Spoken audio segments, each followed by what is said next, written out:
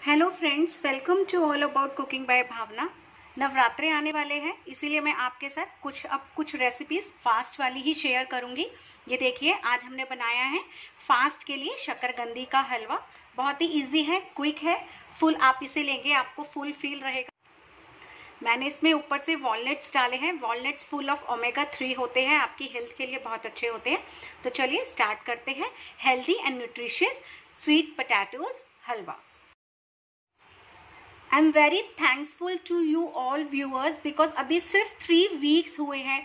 All about cooking by Bhavna को channel को start किए हुए और बहुत अच्छा रिस्पॉन्स आ रहा है। बहुत ही बहुत ही ग्रेटफुल uh, मुझे बहुत अच्छा लग रहा है कि आप मेरी वीडियोज़ लाइक कर रहे हैं शेयर कर रहे हैं सब्सक्राइब कर रहे हैं। थैंक यू सो मच मैंने 250 ग्राम शक्करगंदी ली है। इसको मैंने जिस तरीके से हम आलू बॉईल करते हैं, इस तरीके से मैंने इसको छील के, इसके छिलके उतार दिए, इसको पील कर दिया है। अब इसका हलवा बनाने के लिए हमें फ़र्स्ट स्टेप क्या होगा कि हमें इस तरीके से ग्रेट इसको ग्रेट करना होगा। मैं अपनी सभी शक्करगंदी इस तरीके से ग्रेट कर दूँगी।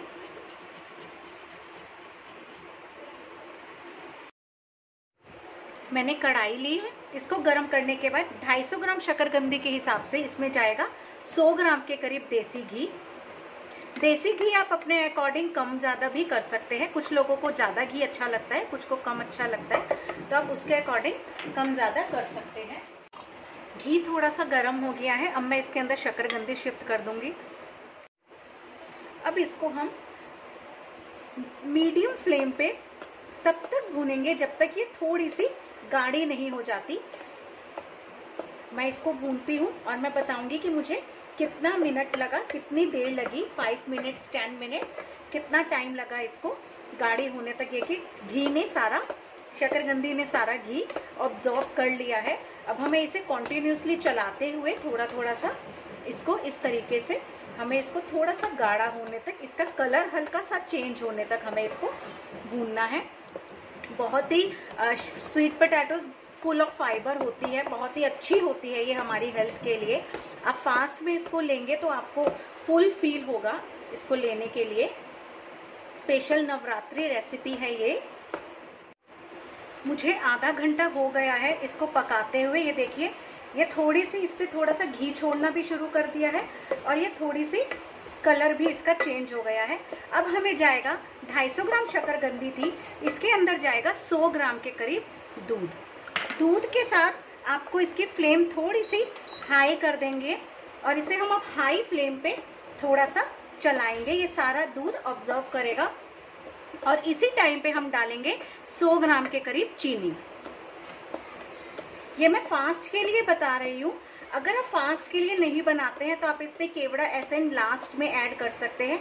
बट हम फास्ट में कुछ लोग एसेंस नहीं पसंद करते हैं तो इसमें मैं डालूँगी इलायची पाउडर बट एकदम लास्ट में। आप इसमें गुलाब जल भी डाल सकते हैं खाने वाला। वो भी बहुत अच्छा फ्लेवर देता है। ये काम हम दूध डालने के बाद हमें इसको कॉन्टिन्यूसली चलाना है। पहले हमने इसको सिम मीडियम गैस पे पकाया था अपने स्वीट पोटैटोज को। बट अब हम इसे थोड़ा सा हाई फ्लेम पे पकाएँगे ताकि ये जल्दी से सारा दूध इसमें ऑब्जॉर्व कर ले। इस प्रोसेस में भी आपको चार से पाँच मिनट लगेंगे।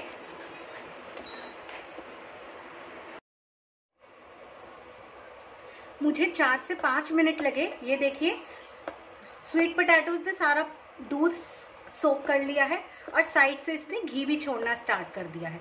अब इसके अंदर लास्ट स्टेज में जाएगा इलायची पाउडर मैंने चार से पाँच इलायची को कूट के उसका पाउडर बनाया है। आप मार्केट से इलायची पाउडर ना लाइएगा। इलायची ला के उसका फ्रेश इलायची पाउडर घर में बना के ही यूज़ करना चाहिए। उससे अच्छी फ्रेगनेंस रहती है। यह हमारा शकरगंदी का हलवा रेडी है। अब मैं गैस की फ्लेम बंद कर दूँगी। और लास्ट में इसमें हमें इसको अपनी सर्विंग प्लेट में निकालूँगी सर्विंग बाउल में, जिसमें भी मुझे इसे सर्व करना है, इस तरीके से।